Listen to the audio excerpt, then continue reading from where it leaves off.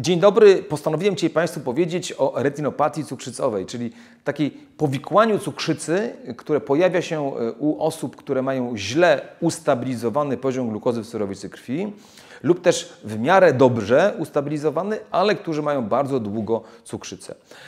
Jest to choroba małych naczyń krwionośnych, które ulegają uszkodzeniu pod wpływem właśnie tego wysokiego poziomu glukozy, ale także sprzyja retinopatii cukrzycowej nadciśnienie, otyłość i miażdżyca.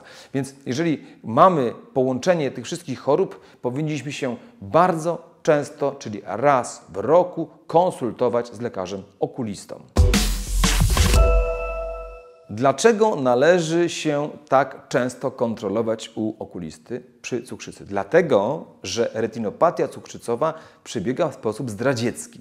My jej nie czujemy. Ona, te naczynia krwionośne ulegają uszkodzeniu, a my tego w ogóle nie wiemy. Chyba, że dojdzie do sytuacji, gdy retinopatią cukrzycową zajęte jest miejsce w siatkówce zwane plamką żółtą. To jest takie miejsce, w którym e, my widzimy w sposób najbardziej barwny, gdzie mamy najwięcej receptorów e, wzrokowych i jeżeli tam dojdzie do uszkodzenia, to możemy od razu mieć problemy z dobrym widzeniem. E, można takie uszkodzenie plamki żółtej wykryć dość prostym testem, zwanym testem Amslera. On się właśnie w tej chwili pojawia na ekranie ja zachęcam Państwa, żeby zatrzymać ten film i żeby ten test sobie wykonać.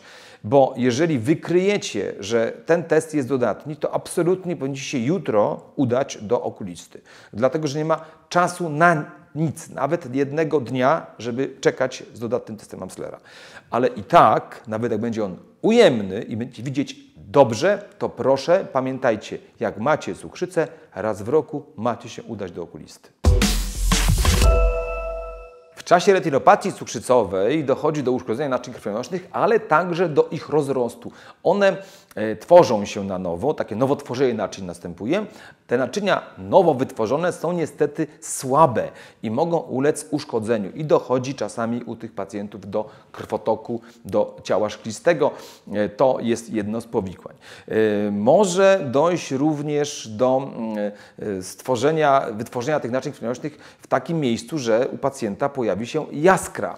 Zatem te wszystkie, te wszystkie informacje e, powodują, że należy się kontrolować u okulisty w czasie, gdy się ma cukrzycę. Jak ziołami e, można by było sobie pomóc i poprawić funkcję naczyń krwionośnych, które cukrzyca uszkadza? Otóż po pierwsze należy zastosować zioła, które będą stabilizować poziom glukozy w surowicy krwi, bo to jest najbardziej wrażliwy czynnik, który, który nam te naczynia krwionośne uszkadza. Do takich ziół e, należy e, owocnia fasoli, liść pokrzywy, kora cynamonowca, liść morwy. Zresztą recepturę, którą Państwo widzicie na ekranie, to jest receptura, którą możecie zastosować w przypadku retinopatii cukrzycowej. Ona ta receptura bardzo dobrze stabilizuje poziom e, glukozy w surowicy krwi po posiłku, więc picie takiej mieszanki ziołowej do obiadu, kolacji, do takiego posiłku, gdzie jest duża zawartość węglowodanów, jest bardzo wskazana, bo niebezpieczne są dla nas szczególnie te skoki ciśnienia tuż, skoki, przepraszam, poziomu glukozy w surowicy krwi tuż po, po, po zjedzeniu posiłków. Ta mieszanka ziołowa może te y, skoki, te wzrosty nagłe y, zmniejszyć. Y, poza tym należy coś stosować takiego, co nam te naczynia krwionośne ochroni.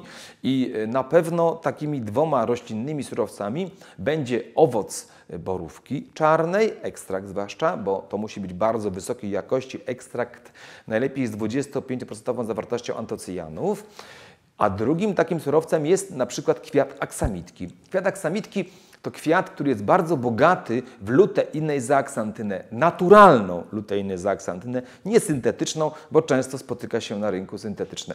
Kwiat aksamitki plus owoc borówki czarnej to znakomite połączenie, które można oczywiście wzbogacić o witaminy, mikroelementy, również dobrze wpływające na stan naczyń krwionośnych i na stan siatkówki. Ostatnim takim, takim elementem, który warto tutaj zastosować, to ekstrakt z owoców kasztanowca oraz ekstrakt z liścia miłożębu. One Te dwa surowce zielarskie znakomicie wpływają na naczynia krwionośne, zwłaszcza na naczynia włosowate i poprawiają ich funkcję.